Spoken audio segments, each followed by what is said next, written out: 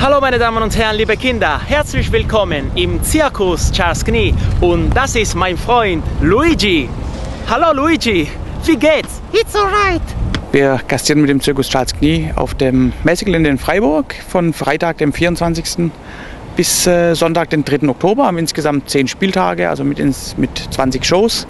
Und bei uns im Programm ist klassischer Zirkus zu erleben, ganz viele Tiere, Clowns, Artisten, äh, internationale Künstler, teilweise auch in Monte Carlo beim Festival ausgezeichnet. Tja, und so haben wir eigentlich einen ganz bunten Mix, der für alle Altersschichten, alle Altersklassen ähm, äh, gerecht wird. Und äh, dementsprechend freuen wir uns nach zwei Jahren, wir waren 2008 schon mal in Freiburg mit sehr großem Erfolg, dass wir jetzt wieder hier sein dürfen und äh, ja, sind gespannt auf die zehn Tage hier auf dem Messegelände. So, das ist Steffi und Manta, das sind unsere zwei kalifornischen Seelöwen und gastieren zurzeit in Freiburg und da kann man unsere kleinen Damen auch bewundern. Ein Highlight ist mit Sicherheit die große gemischte Hauptnummer von Alexander Lacey. Er ist äh, in Monte Carlo ausgezeichnet worden für seine Darbietung.